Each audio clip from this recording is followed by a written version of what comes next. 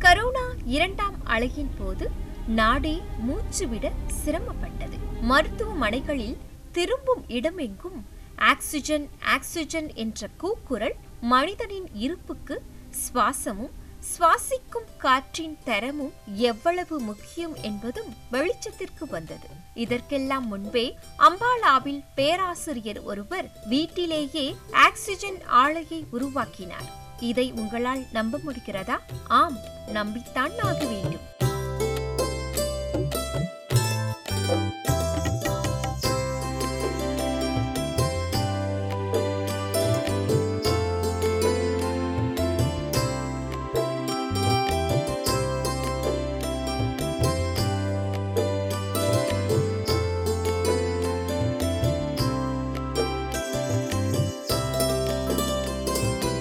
मुझे இயற்கையோட இணைஞ்சு நீங்கள் வாழ ஆரம்பிச்சா நீங்கள் கற்பனை பண்ண முடியாத விஷயங்களை இயற்கை உங்களுக்கு தரும் வாழ்க்கையில் எனக்கு நிறைய கிடைச்சதுக்கு காரணம் இந்த மரங்களும் செடிகளும் தான் आप कल्पना नहीं भी नहीं कर सकते और मुझे जीवन में बहुत कुछ मिला है बहुत समृद्धि मिली है वो सब समृद्धि कारण उसका है मेरे पेड़ पौधे அவர்தான் எழுபத்து எட்டு வயதாகும் பேராசிரியர் வேத் பிரகாஷ் தான் சுவாசிக்கும் காற்றின் தரத்தை பல மடங்கு உயர்த்த தன் வீட்டை சுற்றிலும் பல்வேறு வகையான தாவரங்களை வளர்த்து வருகிறார். இதனால் சிறிய வனத்திற்குள் கட்டப்பட்டிருக்கும் மூன்றடுக்கு மாளிகை போல அவரது வீடு தன் பசுமையான தோற்றத்தால் காண்போரை கவர்கிறது. தனது தள்ளாத வயதிலும் இவர் சுமாராக ஆயிரம் தொட்டிகளில் வெவ்வேறு வகையான தாவரங்களை தன்னுடைய வீட்டை சுற்றி வளர்த்து வருகிறார்.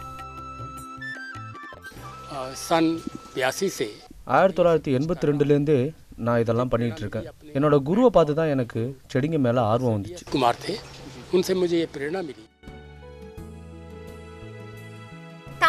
தமிழ் மீது பெரிதும் ஈர்ப்பில்லாத பேராசிரியர் வேத் பிரகாஷிற்கு ஆயிரத்தி தொள்ளாயிரத்தி எண்பத்தி இரண்டாம் ஆண்டில் அவரது குரு ஒரு பூஞ்செடியை பரிசளித்துள்ளார். தன் குரு மீது கொண்ட அன்பின்பால் அதனை பேணி வளர்த்த பேராசிரியர் வேத் பின்னாள்களில் தாவரங்கள் மீது காதல் கொண்டார். சுமார் நாற்பது ஆண்டுகளாக பேராசிரியராக பணியாற்றிய இவர் தன் பணி ஓய்வுக்கு கோவிந்த் வீட்டில் தோட்டம் அமைத்தார். இரண்டாயிரத்து நான்காம் ஆண்டு தொடங்கி தற்போது வரை பல்வேறு வகையான செடிகளை நடவு செய்து தன் ஓய்வு நாட்களை பசுமையாக்கியுள்ளார்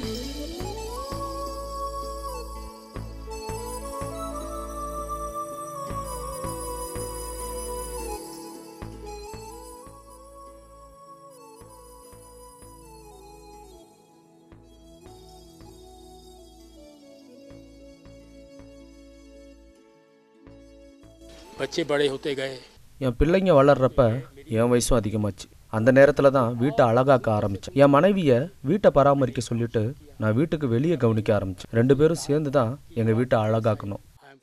விதவிதமான செடிகளை காண வேண்டும் என்றால் அம்பாலாவில் உள்ள பேராசிரியர் வேல் வீட்டிற்கு செல்லலாம். இங்கு அனைத்து பருவங்களிலும் வளரக்கூடிய எண்பது வகையான தாவரங்களை அவர் பராமரித்து நர்சரியில் இவர் வாங்கி வந்த அசாதாரண அழகை கொண்ட பிரேஷியா செடி காண்போரை அங்கேயே கட்டி போடும் பேரழகு. ஆனால் இந்திய செடிகள் பேராசிரியர் வேத் பிரகாஷிற்கு பிரியமானவையாகும் மக்கள் தங்களோட வீட்டை அழகாகவும் பசுமையாகவும் வச்சுக்கிட்டா அவங்களுக்கு தூய்மையான காற்று சுவாசிக்க கிடைக்கும்னு நான் நினைக்கிறேன். அவங்க வீட்டை சுற்றி இருக்கிற வெளிக்காத்தோட தரமும் அதிகமாகும். கண்கவரும் செடிகள் மட்டுமின்றி பீப்பாள் அரேகா பாம்பர்ன் போன்ற ஆக்சிஜனை அதிகம் வெளியிடும் தாவரங்களையும் வேத் பிரகாஷ் பேணி வளர்க்கிறார். இதுபோல நாட்டின் பிற குடிமகன்களும் தோட்டம் அமைப்பதில் ஈடுபாடு காட்ட வேண்டும் என்பதே அவரது விருப்பமும் கூட. தாவரங்கள் புடைசூழ வீட்டின் சுற்றுப்புறம் பசுமையாக காட்சியளிப்பதில் பேராசிரியர் வேதின் மனைவி சுரேந்திரா விஜுக்கும் முக்கிய பங்குள்ளது. சுரேந்திரா விஜ் தன் குடும்பத்தை பராமரிப்பதுடன் வீட்டு தோட்டத்தையும் பராமரித்து வருகிறார். கோடை காலத்தில் பிற வீட்டை விட இங்கு சில டிகிரி வெப்பம் குறைவாக இருக்கும் என்பது இவர்களுக்கு கிடைத்த கூடுதல் கொடை.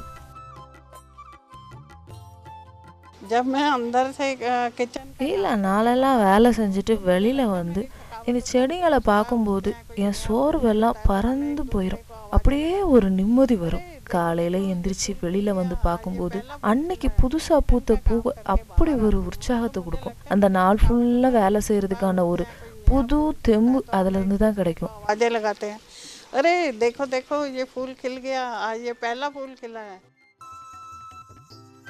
புதுமையான விஷயங்களை செய்ய தொடங்கும் போது அதன் பயனறியாத சிலர் நம்மை எள்ளி நகையாட நேரிடும் அதுபோலத்தான் பேராசிரியர் வேத் தன்னுடைய வீட்டை செடிகளால் அழகூட்டும் போதும் பலர் அவரை கேலி செய்துள்ளனர். இதையெல்லாம் கடந்து பல ஆண்டு உழைப்புக்கு பின் வனம் போல உருவெடுத்த பேராசிரியரின் வீடு தற்போது அப்பகுதியில் பேசுபொருளாகி உள்ளது செய்திகளை உடனுக்குடன் தெரிந்து கொள்ள இடிவி பாரத் செயலியை டவுன்லோட் செய்யவும்.